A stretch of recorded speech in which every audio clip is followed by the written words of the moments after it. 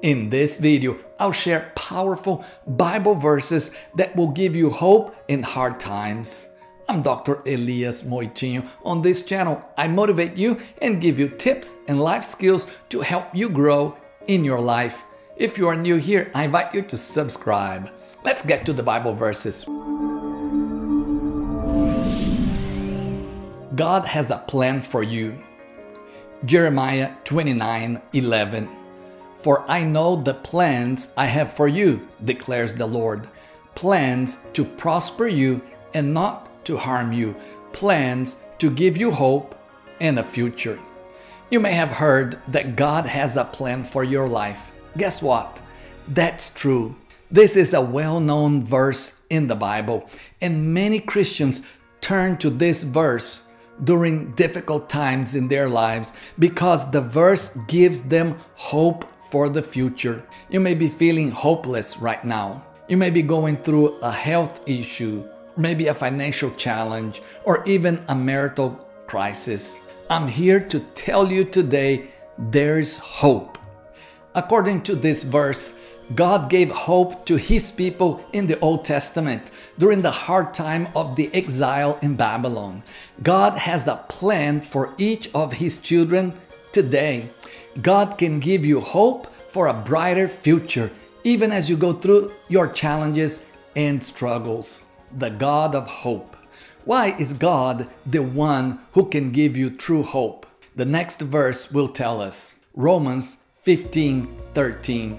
May the God of hope fill you with all joy and peace as you trust in Him, so that you may overflow with hope by the power of the Holy Spirit. God has many titles. Paul describes God here as the God of hope who gives you joy and peace. When you go through hard times, you need peace. You need joy. Where do you get peace? Where do you get joy? Well, God is the source of hope who gives peace and joy. But what is hope? Biblical hope is different from what people call hope today. Nowadays, people think of hope as a wish, a desire, and it's even called wishful thinking. However, in the Bible, hope means anticipation or expectation of what God promised He will do. So, hope is based on God's promises. Remember that God is faithful to fulfill His promises. Hope involves trusting in God and having faith in Him. The Bible emphasizes hope for blessings not only on this earth, but also eternal life in heaven. When you get hope, your attitude and emotions change. You become more positive about how to face your crisis. You can even see the light at the end of the tunnel. Watch my video Bible verses about suffering and comfort. I'll put the link here for you. How do you get hope? Romans 15:4 For everything that was written in the past was written to teach us, so that through the endurance taught in the scriptures and the encouragement they provide, we might have hope. If you are feeling hopeless and looking for hope, you can get hope from the Lord. How? You get hope by reading the Bible and learning about God's principles and promises. As you're going through this challenging time in your life, you can read your Bible and learn from people in the Bible who went through struggles and through their faith in God, they gained hope, they persevered, and they experienced victory in their lives. These stories can encourage you and fill your heart with hope and strength. Watch my video Bible verses for strength. The link is here. Our hope is based on God's word and on his faithfulness. We need to be like the psalmist who proclaimed in Psalm 130 verse 5, I am counting on the Lord. Yes, I am counting on him. I have put my hope in his word.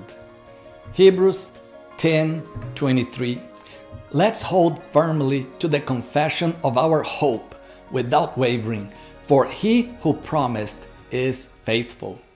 Our hope, anticipation, or our expectation of what is to come is based on God's promises. And guess what?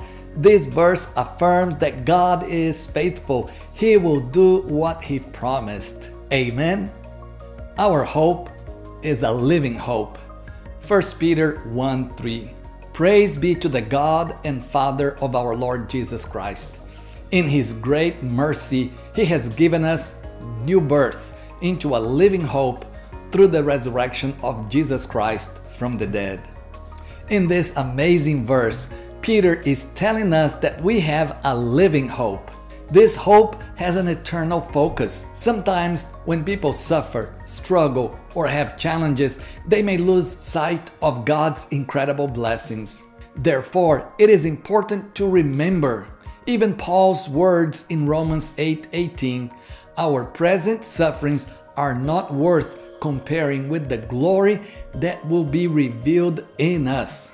Paul is referring to God's gift of salvation. And Peter is also referring to this gift of salvation and eternal life that gives us hope. I want to encourage you with God's promises that put your life into perspective. As a Christian, you don't need to feel hopeless because God has an eternal inheritance for you through Jesus Christ. Meditate on these verses, and you are going to begin to receive God's hope in your life. Watch the videos you see here on the screen to continue to get hope. And if you liked the video, click the like button, share it with your friends, subscribe to the channel so that you can get more videos on Bible verses for your life.